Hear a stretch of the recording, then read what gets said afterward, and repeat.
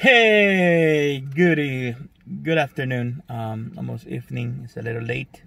Um, I was um, up almost all night meditating, uh, thinking about the Word of God, and um, was looking into um, uh, the L's, the names of God, Eli, Eli, um, Elohim. Uh, I was looking into Elohim, um, El, uh, El Shaddai.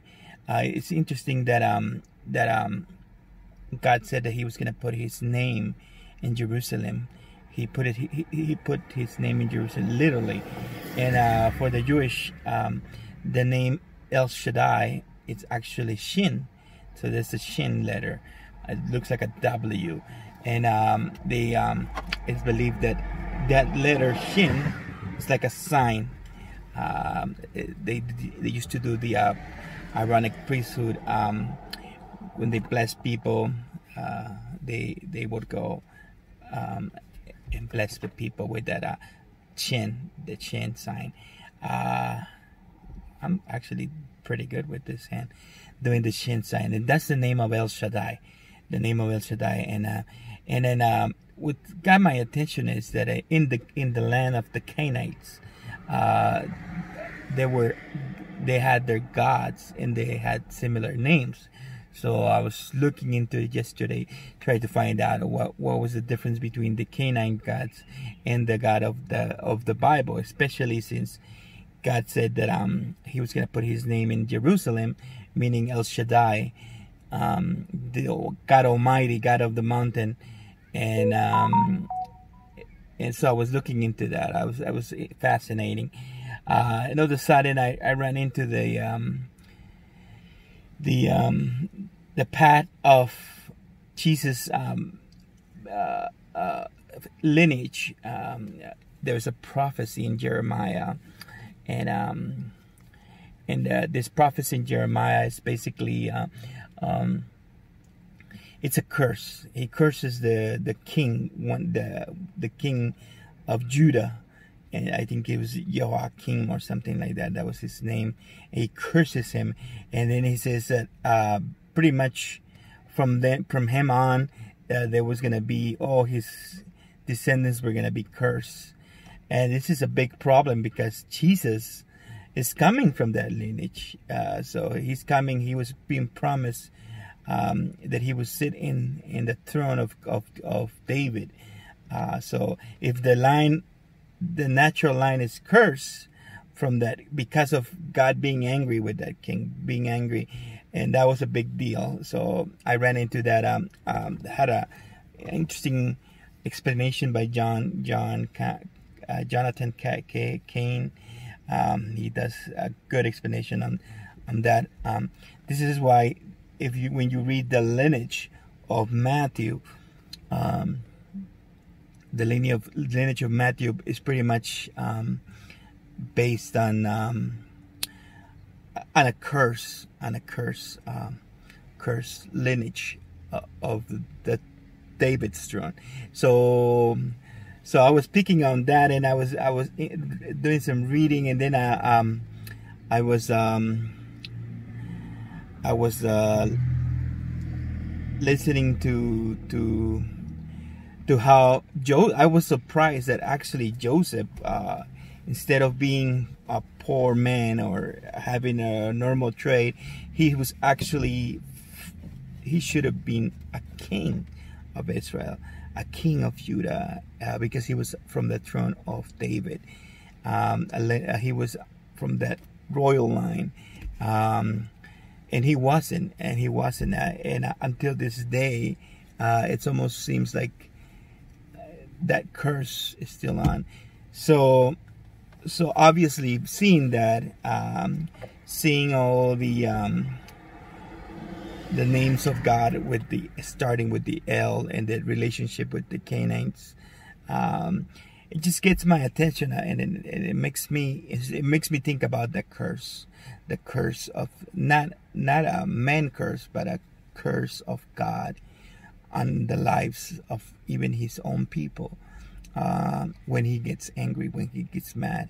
Um, the pro one of the things with the curse is uh, whatever you do will not prosper.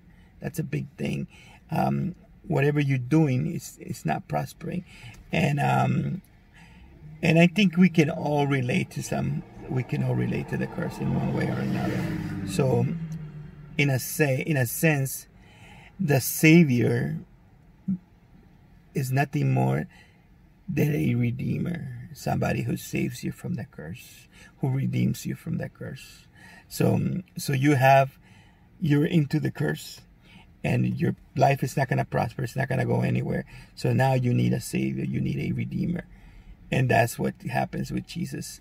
Um, so his line gets cursed. Uh, now, uh, Luke gives another genealogy, and Luke tells that that um, the genealogy from Mary's side. So, and it goes all the way to Adam, which makes sense to what God promised the serpent. Said, "Hey, he um, with when he promised the woman, your seed will crush the serpent's head, and the serpent will uh, will will um, will grab his heel." Um, so that makes sense. That even though the the line of David uh, of kings got interrupted got cursed because of that last uh, um, uh, Judean Judean king um, that was exiled to Babylon. He was, uh, I I believe he, he, took his eyes out. It was horrible. It was, it was a time of, of chaos. Jeremiah was prophesying, prophesying this. That there was this time was coming, that this time was coming. Well, now, uh, in our world today, we don't it doesn't look pretty good. It doesn't look pretty good. Uh, we have so much craziness going on in the in, around the world, and um, we have a, a few pending dooms, kind of like hanging, hanging that could anything could go crazy any minute. So I would I would uh, I would say that we have to we have to um, we have to um, um, take take notice of the curse of God, of the curse of God. So there's a um, there's a word um, in in Hebrew uh, which actually uh, talks about curse. Uh, it's a if you do the Strong's, you will find it. Um, I'm, I'm gonna put it posted on the video um, with the notes. Uh, it's a little late today, uh, sort of um, um, off guards with the um, with the word of the day. So this today's word is a little bit unusual. Um, we're trying to to to to bless you through this video, uh, and um, bless you in the only way possible, and that is uh, pointing you to Jesus. It, it's it's a serious thing. It's a serious thing. Um, one of the things that happens to Jesus when he's getting crucified, and this is the main point of this video today, just to point that out, since we talk about curses of, of the Jeremiah gave because God was angry with the people. See, the thing is, it's it's it's awesome when God is happy, when God is pleased, when God is in a good mood, but it's not awesome when God is angry, when God is not pleased. Um, because then you you you get on the curse side. Um, remember that true fig tree that Jesus cursed. Um, he wanted a fruit from that tree, and they didn't find it. It was it was uh, a fake, a fake. Uh, um, entourage that it had tree, but it, it had fruit, but it didn't have it. So Jesus cursed it.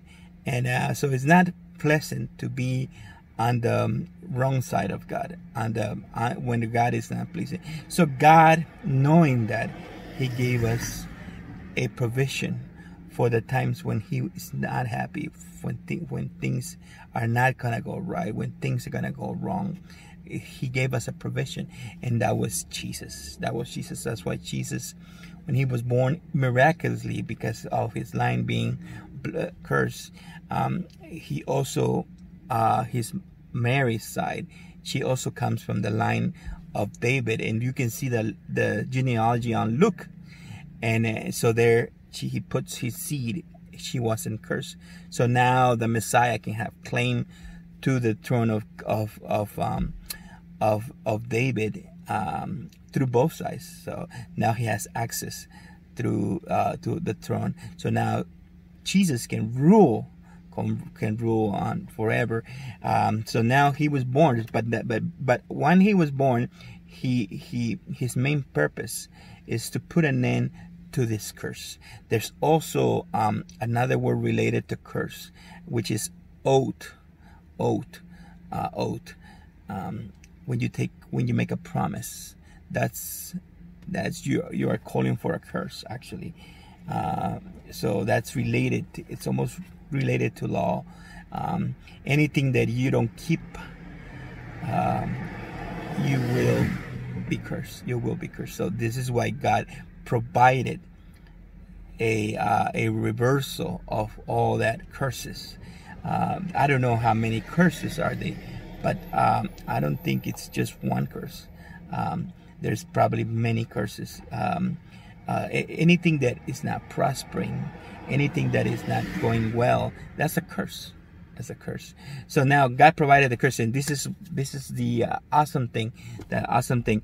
Um, there's this word uh, that um, you're gonna see in the on the on the um, description that has to do with the pierce, with pierce. So so whenever you hear about Jesus' hands being pierced, and he still keeps that pierce in his hands um, after he was resurrected, those pierce in his hands and in his feet are still seen.